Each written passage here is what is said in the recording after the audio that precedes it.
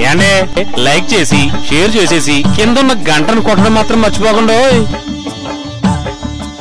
రొయ్యల సంక్షోభంలో తెరపైకి వచ్చిన పండుగప్ప చేపల పెంపకం దేశ విదేశాల్లో ఎనలేని డిమాండ్తో రైతులకు సిరులు కురిపిస్తోంది. చేపల్లో రారాజుగా పిలిచే పండుగప్ప పేరు చెబితేనే మాంసాహారులు లొట్టలేస్తున్నారు.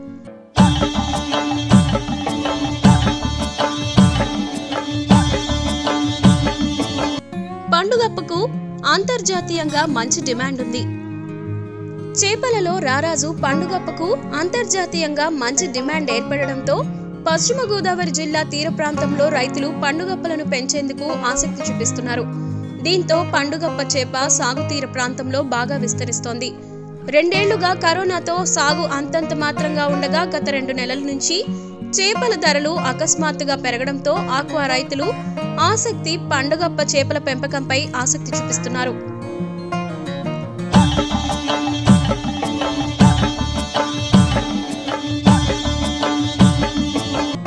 సముద్రం ఉప్పు నీటిలో దొరికే ఈ చేపలను జిల్లాలోని మొగల్తూరు నరసాపురం భీమవరం కాళ్ళ మండలాల్లో సాగు చేస్తున్నారు.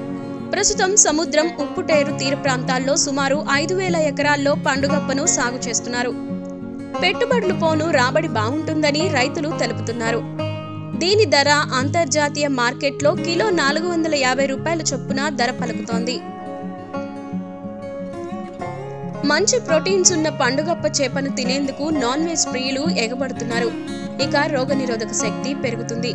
ఇన్ఫెక్షన్ల నుంచి రక్షణ లభిస్తుంది. డయాబెటీస్ ఆర్థరైటిస్ వంటి వ్యాధులు రాకుండా ఉంటాయి. ఇక మెదడు చురుగ్గా పనిచేయాలంటే చేపలు ఆహారంలో చేర్చుకోవాలని ఆరోగ్య నిపుణులు సైతం సూచిస్తున్నారు.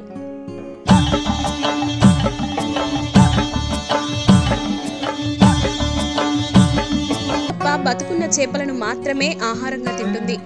దీంతో రైతులు స్థానిక చేపల చెరువుల్లో బెత్తులు చైనా గొరకలు లాంటివి చిన్నపాటి చేపలను ఆహారంగా వేస్తున్నారు. వీటిని పెంచేందుకు లోతు ఎక్కువగా ఉన్న ఎకరా చెరువులో ఐదు వందల నుంచి ఏడు వందల వరకు పిల్లలను వదులుతున్నారు. వీటిని చెరువులో ఏడాది పాటు పెంచితే పది కిలోల బరువు వచ్చే అవకాశం ఉంటుంది.